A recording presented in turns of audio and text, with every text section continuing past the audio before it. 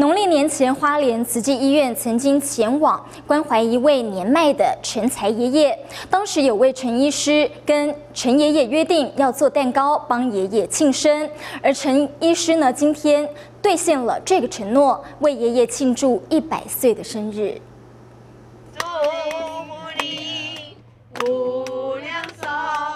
在志工的陪伴下，陈才爷爷欢度一百岁。民国四年出生的他，一生为国家奉献，踏实走过一世纪。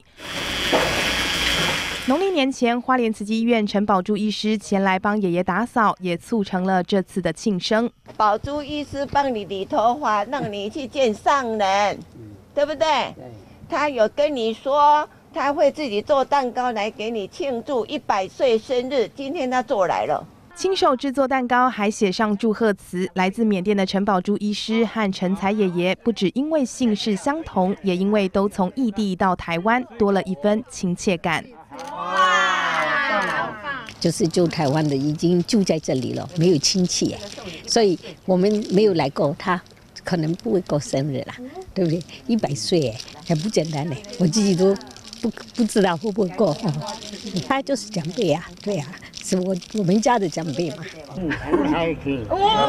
尽管蛋糕制作过程失败很多次，但是爷爷的称赞就是最大的鼓励。圆满哦。嗯。哦，你看，今天所有子孙都围绕在旁边。除此之外，宝珠医师还准备了汤圆要和爷爷分享，而贴心的他也发现了爷爷的假牙脱落，更延续了两人的约定。牙头断掉。断掉，对，断掉可以接。